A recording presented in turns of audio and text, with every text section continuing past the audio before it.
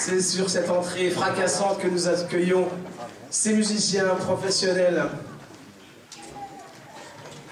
avec Acalorique.